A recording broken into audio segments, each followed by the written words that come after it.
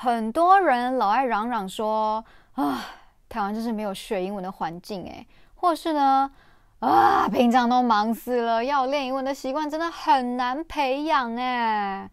如果你有这方面的困扰的话呢，那么这一系列英文习惯养成就是属于你的喽。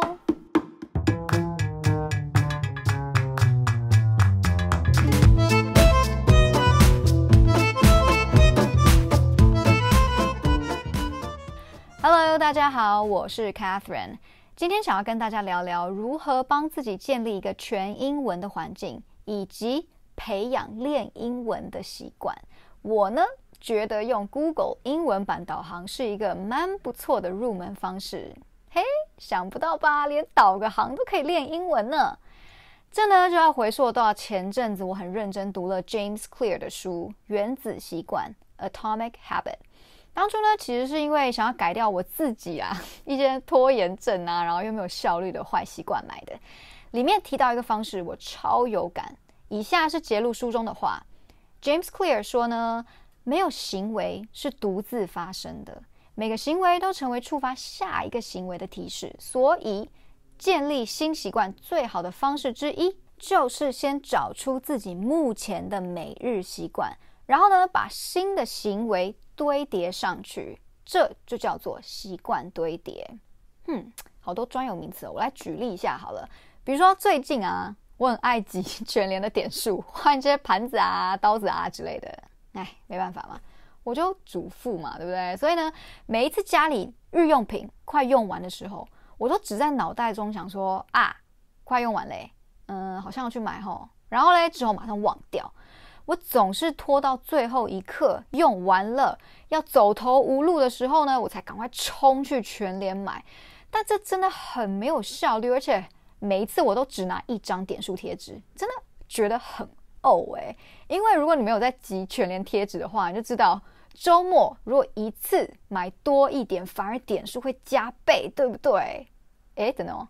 我我等下，我先说，我没有收全联任何一毛钱哦，我只是真心爱他出的那些厨具而已。好啦好啦，回到重点，我呢，我就决定要改掉这个没效率又拿不到点数的坏习惯，所以我决定在手机建立一个 to buy list。每当我发现我的洗衣精快用完的时候，我就会马上开始动作，在手机里打上洗衣精。酱油快用完了，我就马上记下酱油，然后每一个礼拜一次性的采买。看到那个点数好长一串，真的觉得哇，超过瘾的。我把新的习惯，也就是当下把即将需要买的品项记下来，堆叠在已经有的这些洗衣服啊、煮饭的平常的习惯上面，因此而改掉自己采买很没有效率的坏习惯。所以呢，这整件事情的关键就在把想要的行为跟每天已经在做的事情绑在一起。那回到练英文喽，要如何帮自己建立起练英文的习惯呢？哼，当然有很多种方式啊。今天我就先分享一个我自己用了很多年的小撇步，好不好？那就是用英文版的 Google 导航。我先来解说一下它如何习惯堆叠。好了，先说明一下它的原理部分哦。在这个年代，我相信大家出去玩，应该已经没有人在看那种一大张的地图了吧？一定都是 Google Map 直接拿出来直接定位，对不对？所以呢，我确定大家呢是有这个习惯的。再来就是把练英文堆叠上去哦，把这个 Google Map 的导航换成英文版。那今天我就先来教大家如何听懂英文导航，好不好？那与其说是教，不如说是引导你们如何听懂。因为其实我知道很多人其实都有听懂的基本程度，只是呢，大家都会怕，觉得自己好像没那么厉害哦。但千万不要小看自己，好不好？其实你们都一定做得到的。首先，我们先猜测、预想一下会有哪些导航的句子，好不好？因为自己先主动思考哦，先想一个答案，这样子等一下听到正确说法的时候，就有那种。啊，原来是这样说的那种哇哦的惊喜感，而且呢，因为你有先想过一次嘛，所以呢也会记比较快哦。OK，来，我们先想一下平面路段的部分，最基本的会有什么？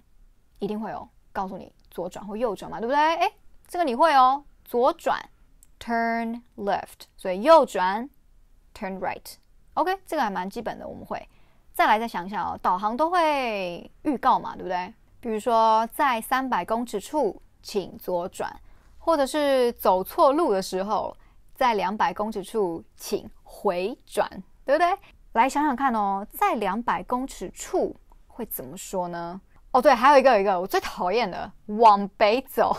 身为一个没有方向感的人，谁知道北边在哪里啊？又不是要飘向北方，对不对啊？但算了算了，反正我是来练英文语感的，不是要学方向感的，对不对？来，同学们一起来翻找一下你的单字哦。有了一些自己的猜测后，现在我们实际来听听看导航会怎么说吧。首先第一句，Turn left. Turn left. Turn left.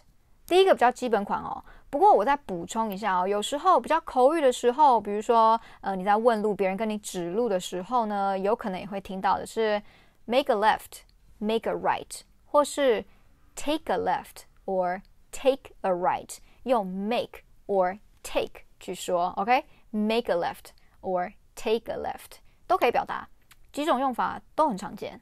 那我们再来听一下下一个喽，head west，head west。Head west，head 就是我们学的头嘛，所以可以想象你的头往哪里转，往哪里看，你的身体就会去那个方向，对不对？ 所以呢，这个 head 当动词的时候，就可以理解是要往哪个方向去，对不对？那这里我再补充一下基本的东西南北向哦，东边 east，east，西边 west，west，南呢，南边 south。South 北边，North，North，所以刚刚说的 Head West 就是要往西的方向走，OK？Head West，也就是我说的啊，我完全就不知道西边在哪，请看导航图喽，谢谢。来，我们再来听第三句喽。In five hundred meters, turn right. In five hundred meters, turn right. 这句话是在说什么啊？如果你当下不了解、听不懂那个 in five hundred meters 是什么意思、有多远的话，没有关系啊，导航图就在那里给你看，可以看图说故事，怎样都不会猜到一个太瞎的答案，对不对？而且通常你的那个手机导航左上方也会有一个标记，你就看到还没有转弯，你就可以猜说，嗯，五百公尺之后才要 turn right，应该是这个意思吧，对不对？稍微猜测一下。所以呢，这里就可以学到 in 的一种用法喽，就是表达在某个距离结束时要干嘛干嘛，或是呢，另一种更常见的用法是像这样，呃，情境是哦，你比如说你和朋友约嘛，啊，你就跟对方讲说，哎，我在十分钟就到喽，Hey，I'll be there in ten minutes，I'll be there in ten minutes，这边的 in ten minutes 其实就跟刚刚那个导航的用法很像啊，刚刚是在五百公尺后要。右转嘛，那这里就是我在十分钟后就要到喽。I'll be there in ten minutes，对不对？I'll be there in ten minutes。我们再听一次这句哦。In five hundred meters, turn right. In five hundred meters, turn right，都是 in 这个用法，学起来了吗？那我们再听下一个喽。In four hundred meters, make a U-turn. In four hundred meters. Make a U-turn。我们来想象一下英文字母的 U 的样子，就是从一头这样转一个大圈到另一头，对不对？所以就是我们说的回转。刚刚你猜的回转是怎么说的呢？现在有没有一种那种哇，原来这么简单呐，那种哇哦的惊呼的呢？有没有？有没有？那这个呢是平面道路导航里面常出现的几句话。再来。挑战喽，要开上高速公路喽！一样，我们先来想一下导航会说什么，好不好？那应该就是类似那种，比如说，呃，左转上匝道，或是要下要下高速公路嘛，在一公里后由右侧出口离开，或是呃岔路靠右之类的，对不对？所以我们想一下哦，嗯，这个关键字匝道可以怎么表达嘞？那这个岔路然后要靠右行驶，又可以怎么讲呢？我要再次提醒一下大家哦，学英文最好的方式之一呢，就是先有一个自己的猜测，你不要一直等老师给你答案，一直等等等哦。因因为让脑袋处于这种比较主动的去思考的状态，是会比这种被动的接收答案来的印象深刻哦。来，想好了吗？我们来听听看哦。In 400 meters, turn left onto the ramp. In 400 meters, turn left onto the ramp. 也许现在只有听而没有视觉的辅助会有点困难，对不对？但想象哦，你今天都已经知道你要上高速公路，而且一定会在找上高速公路的地方，对不对？所以呢，配合导航的图，当下再听到关键字 in four hundred meters，然后嘞 turn left，你大概就知道左转是要干嘛？要上匝道嘛，所以这个时候你猜就可以猜出来匝道是什么喽。他刚说 turn left onto the ramp，onto the ramp，有没有一种恍然大悟的感觉？你想想看哦，匝道其实就是从地面连接到比较高一点的高速公路那个之间的斜坡，对不对？所以就是 ramp。ramp 这个字的本意呢，就是这种比较人为搭建出来的斜坡。有时候啊，你从店里走出来，不是会有台阶吗？然后台阶旁边通常也会有一个给轮椅走那个弯弯的斜坡，对不对？那有时候呢，那些地方的标志也会写上 ramp。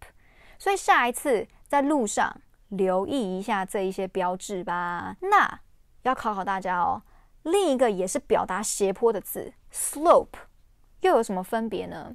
我们现在看一下 slope 通常都会怎么用，好不好？比如说你今天去滑雪，滑雪，那你那个雪就是 a ski slope，那个山呐、啊，这样滑下来的斜坡，对不对？那个就叫做 a ski slope，or a steep slope of a mountain，其实就是 the side of a hill or the side of a mountain or the side of a valley，就是它边边那样子斜下来的地方，所以可以感觉出来差别了吗？一个就是比较人工一点，有目的性搭出来给轮椅走，方便给车开的这种斜坡。那另一个呢，就是比较自然一点，本来的地理环境就是那样子的这个 slope 的这个斜坡。OK，那我们再来听一次，好不好？In 400 meters, turn left onto the ramp. 懂了吗？好喽，顺利上了高速公路喽。再来想想看，还会听到什么？通常就是直直开嘛，或是要到了下下交流道的时候，才会有比较重要的宣布事项，对不对？所以呢，你可能听到会是这样子 In three kilometers, take the exit on the right. In three kilometers, take the exit on the right. 刚刚一开始学的 in five hundred meters turn left 里面的 in 真的超好用的，对不对？一趟路下来，其实复习了好多次呢。因为刚刚其实我们就只是截取某一段，不然的话，真的在开的时候，它会两百公尺处再提醒你一次，可能一百公尺处再提醒你一次说，再一百公尺就要转弯了。所以呢，可以听好多次哦，是不是练语感？对不对？那这一次呢是 in three kilometers，在三公里，要干嘛嘞？Take the exit on the right。希望这里同学们有，呜、又有一个恍然大悟的感觉哦。下交流道就表示要怎样？要找出口嘛，对不对？就用现成我们已经学会的字 exit 就好啦。我们再听一次哦。In 3 kilometers, take the exit on the right. 来，我们一起复诵一次好不好？In three kilometers, take the exit on the right。最后下了交流道，还会分往左或往右嘛，对不对？这时候呢，你就会听到。In two hundred meters, keep left at the fork. 我们再听一次哦，再听一次好不好？In two hundred meters, keep left at the fork. 没错，你们没有听错哦，就是 keep left at the fork。说真的啊，我第一次听到的时候，心里真的是哎想了一下，想说哎没有听错吧？fork 叉子吗？但因为前方明显就是出现了一个岔路嘛，然后又有一个关键字 left，所以我很确定，当时候很确定知道是要靠左。那后来我就想一下，我说，哎，我们吃牛排用那种叉子啊，是手拿着把那个把柄嘛，然后上面就会有两到三根这样分出去用来插东西的尖头，所以发挥一下想象力哦。如果我们今天是绿巨人浩克，然后视线从很高处这样往下看这个岔路，不就很像是叉子吗？有没有很好理解？超好记的哦！来，我们再听一次这句话哦。In two hundred meters, keep left at the fork. 我们也一起来附送，加深印象，好不好？In two hundred meters, keep left at the fork。这边有个连音，left 结尾音是 t 的音嘛，那后面一个有一个 at at 的音，所以会有个连音，keep left at 有个 that that left at the fork 的那个连音，OK？Keep left at the fork。All right，连音的部分练一下哦。最后一句。Turn right, then. Your destination will be on the right. Turn right, then your destination will be on the right. 右转之后，接着目的地就会 在右方了。Turn right, then your destination will be on the right. 这里有没有一个未来式 will 啊？因为导航都是在预告嘛，所以呢，等一下即将会发生的事情，目的地就会在右手边，will be on the right，OK？不是 at the right，也不是 in your right，在右手边，它固定的用法就是 on the right On the right，你就把它当成是一个三个音节的单字去记，on the right 就是在右手边的意思，OK？好喽，基本上导航常出现的就这几句了吧，就算。有其他没讲到的，但今天也教你们如何用视觉、用猜测的方式理解。那下一次碰到其他的内容，就举一反三就好喽。出国旅游问路的时候呢，其实我觉得真的也差不多都是这样子诶。所以呢，就是稍微运用一下这个猜测跟视觉的能力，这样去理解，好不好？不过最后，我还是要提醒一下安全性的问题。A quick reminder，因为担心大家一开始哦还不习惯全英文的时候，或是一时没有听懂，然后又来不及看导航图，当下可能会慌张啊，或者走错路之类，可能会有一些危险。所以建议刚开始先导航去已经很熟悉的地方，或是不需要导航也去得了的地方，当做练习，好不好？